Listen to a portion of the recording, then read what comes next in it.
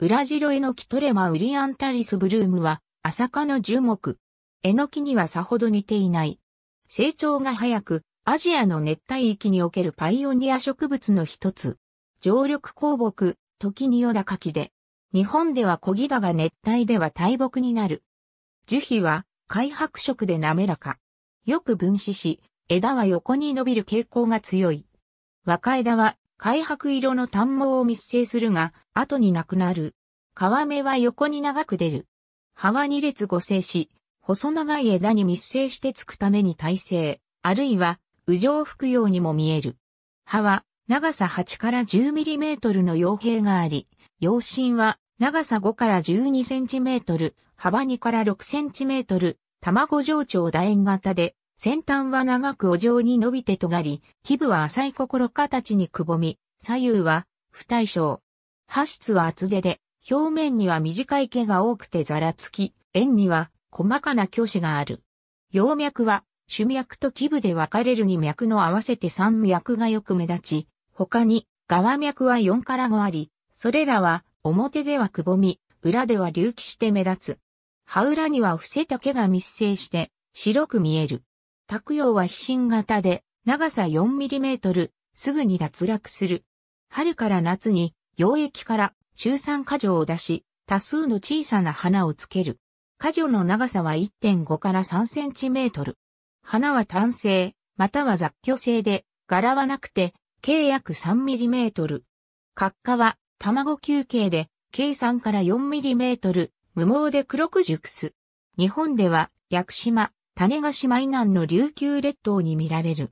国外では台湾、中国南部、東南アジア、インド、マレーシア、オーストラリアにまで分布する。また、アフリカにおいても、セネガルやスーダンから南アフリカ共和国の旧ケープ州にかけての降雨量の多い2200メートルまでの場所で見られる。成長が早くて日当たりのいい場所を好み、林園や格乱を受けた場所によく出現する。特に路傍、開墾後、焼け跡、伐採跡によく出現し、痩せ地での生育がとても良好。先駆植物的な性格が強く、東南アジアの商用樹林帯の焼き畑後に、いち早く出現する樹種の一つに挙げられる。エノキと同じく朝霞に属するが、属は異なる。同属のものは、熱帯域を中心に20種以上があるが、日本にはもう一種、キリエノキティコナビンナだけがある。本種ほど大きくならない、小鉱木で、葉質は薄く、裏が白くならない。また果実は、黄色から赤に熟する。材は柔らかくて、器具や建材に使われる。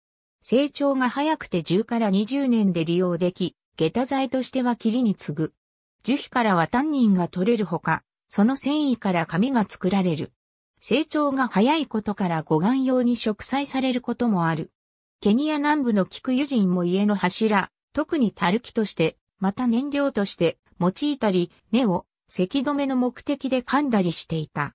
ニエリ県においてもやはり根の戦時治療ズダに対して用いるとの報告がある。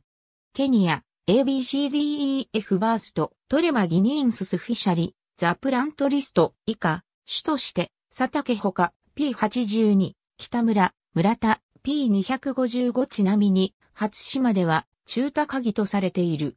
ABC 寺林、P168ABC マウンズテングナズ、AB 山野、P18 中野、P160 佐竹ほか、P82AB リッキー、P1345、ABC ベンソン、釜上通る、日本語、英語。ありがとうございます。